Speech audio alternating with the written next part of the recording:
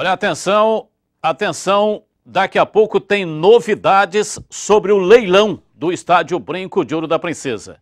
Acessórios três vias, tudo em peças e acessórios para o seu caminhão, então picape. Na Acessórios Três Vias você encontra produtos da melhor qualidade e marcas, com preços os melhores da região. Confira só, buzina ar elétrica Classic, duas cornetas de ferro instalada por R$ 249,90. Retrovisor para apego e Axor da Bepo sem braço por R$ 139,90.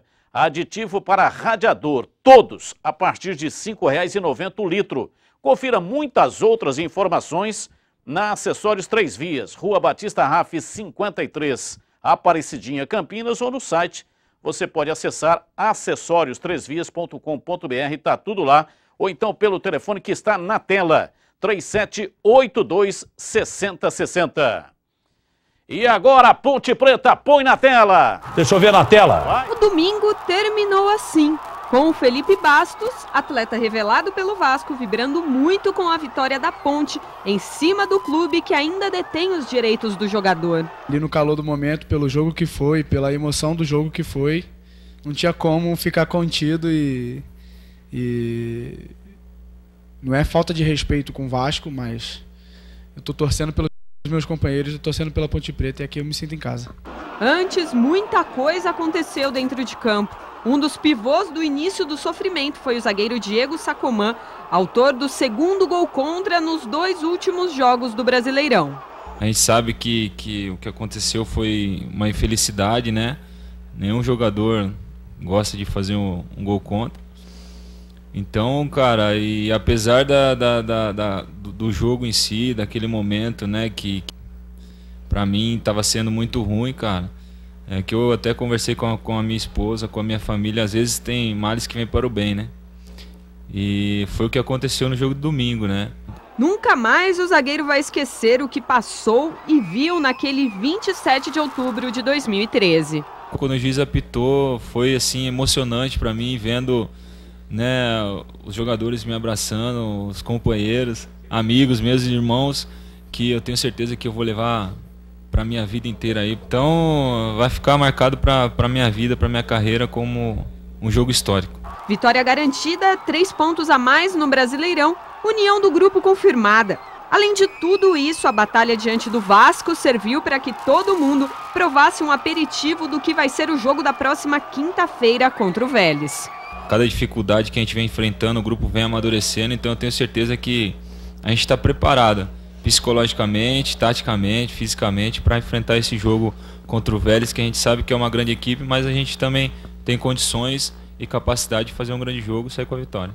O volante Felipe Bastos, que estará de volta, a equipe sabe direitinho a maneira como os argentinos gostam de jogar. São jogos assim que são catimbados, são eles tentam amarrar o jogo de, fora de casa, né? É, tentam amarrar o jogo para tentar irritar a outra equipe, porque eles têm é, isso Olha, como. É, é, a Ponte dispensou ontem. Ramires já vinha treinando em separado. Dispensou a Divíncula, o lateral direito peruano, e também Fernando, aquele volante que entrou e entrou muito mal. Três jogadores não fazem mais parte do elenco Ponte Pretano. Só uma frasezinha, rápida. Não deixarão saudades. É, e só. Também não são só esses três aí, não, né? Não, tem, tinha mais. Tem mais gente que Mas pode, vamos pode pegar o caminhão. Olha, estamos em, encontrar, em contato com o Marcos Luiz. Vamos ao local aonde acontece daqui a pouco o leilão. E aí, Marquinhos, tem novidades? Pois não, pode falar. Tem sim, Batista, novidade. E quem vai explicar para a gente rapidamente, doutor Paulo Souza, é, o pedido de tombamento que aconteceu em São Paulo. E, por exemplo, se o leilão acontecer, teoricamente, quem arrematar não vai levar diante desse pedido de tombamento também. Boa tarde. Boa tarde, Bandeirantes. Uh, não, o leilão acontece independente, nós estamos tentando é proteger o bem da família Bugrina. Não vai ser só com esse documento, nós vamos entrar com diversas outras medidas.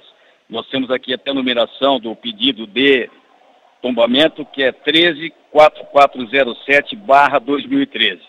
E nós vamos ingressar com outros pedidos também para tentar preservar esse bem da família Bugrina. Obrigado, doutor Paulo Souza. Portanto, aí esclarecendo, Batista, mais um documento que o Departamento Jurídico do Guarani tem em mãos, que é o pedido de tombamento do estádio Brinco de Ouro, Batista. Ô Marquinhos, você está acompanhando é, o pedido de tombamento não evita o leilão, não é isso? O leilão acontece, vai acontecendo normalmente, é isso? Exatamente, foi o que disse o doutor Paulo Souza, o leilão irá acontecer independente do pedido de tombamento, mas é mais um documento que o Guarani tem para se resguardar em relação ao patrimônio ao que pertence à coletividade bugrina, Batista. E, tam, e, também não significa que não poderá ser vendido, não poderá ser arrematado. Pode ser arrematado. O problema é que se for tombado, tem algumas coisas que são preservadas e que não poderão ser destruídas, não é isso? E outro detalhe, Batista, no que foi feito pelo juiz do Tribunal Regional do Trabalho, a unificação das matrículas, essa unificação não foi feita pela prefeitura, que pediu para que o Guarani não as unificassem, entendendo que, por exemplo, um lote que tem um problema, se a unificação acontecesse na prefeitura, todos os lotes passariam a ter esse problema.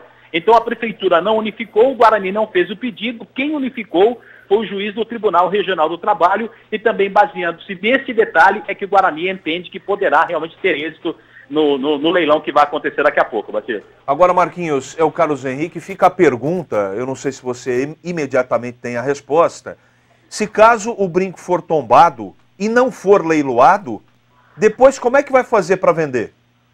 Bom, aí realmente é uma pergunta que nós teremos que fazer depois para o departamento jurídico. Nesse momento eu não tenho essa resposta, né? Porque quando se tomba um determinado imóvel, ele passa a ser patrimônio histórico, patrimônio da cidade, e não existirá, portanto, a, a possibilidade da construção de um outro estádio. Mas a gente vai levar e vai tentar arrancar do jurídico do Guarani essa informação para passar para o telespectador da TV Bandeirantes e também para quem acompanha a programação da Rádio Bandeirantes, CH. Abraço, Marquinhos. Valeu, Batista. Um abraço. Um rápido intervalo. Daqui a pouco, uma da tarde, Neto Locke, o Boca Larga, vai falar.